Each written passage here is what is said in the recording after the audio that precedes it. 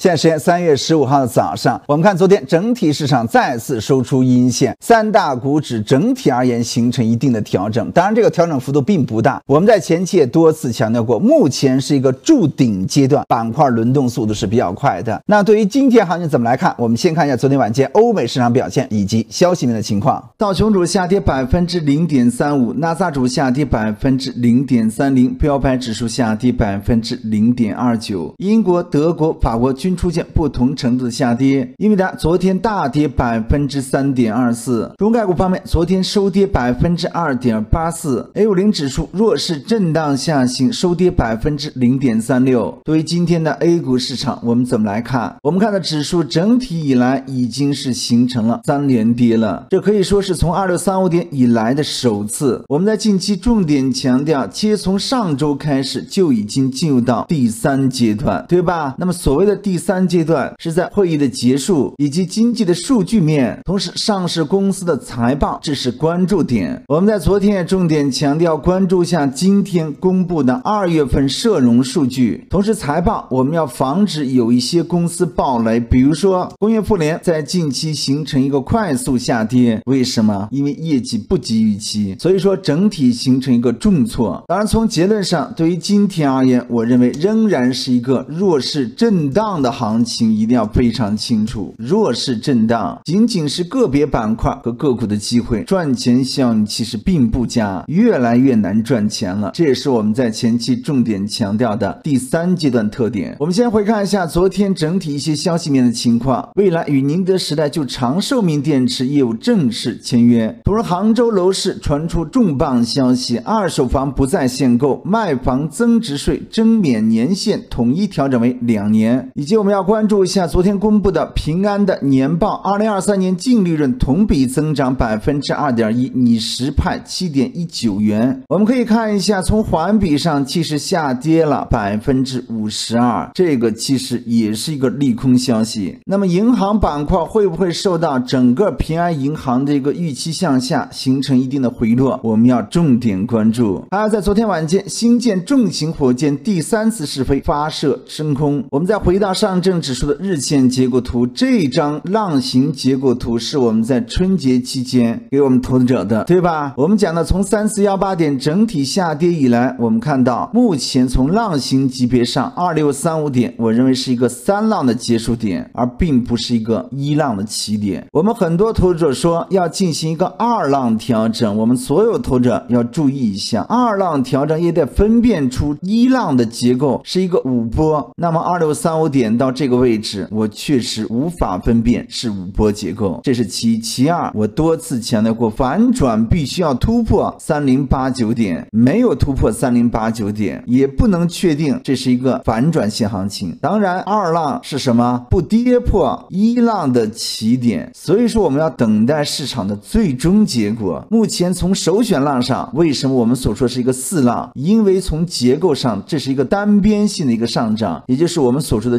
锯齿形和这个二浪平台形形成一定的交替。今天是三月十五号，下周一是三月十八号。我们在春节期间就讲到要关注三月十八号附近的时间窗口，以及我们强调的是什么？三零五零点是重压力，昨天收盘点位三零三八点，所以说一定要关注啊！我们提前就把整个市场的时间转折，包括空间压力就已经告知我们投资者了。以及在近期，我们发现一个重要的特点是什么？北向资金是持续净流入，昨天大买了六十四点二二亿。我们可以从日线级别上看，已经是连续的五天净流入，是超过两百个亿的。但在近期，我们发现市场却没有赚钱效应，也就是什么？北向是在流入的，那么内资是在什么流出的？这也是我们在昨天收评重点讲到的一个主要特点。为什么？就像刚刚我们重点指出的是什么？第三阶段一定要注意一下，是数据的验证，不管是经济数据还是财报。那么内资主要就是看数据，而且有没有一种可能性，国家队在这个阶段出货或者是减持呢？有这种概率。所以说吧，对于今天而言，我认为是等待二月份社融数据公布之后，市场会有方向性的选择，这是其。其二，还是那句话，我们先远离前期涨幅大的这些个股和板块，要远离，同时，我再次强调一下，没有所谓的牛市行情的转折，我们必须得突破三零八九才能够真正形成转折，而调整下来并不是一个进场点，因为这一轮行情连续反弹了四百个点，怎么可能说不会进行一次充分的调整呢？这三天的调整就结束，可能性并不大。所有观看我们视频的投资者，请点赞以及在视频下方打六六六，这是对我最大的支持，感谢。行情在这个位置，还是那句话，今天我们要关注二月份的社融数据，这是至关重要的。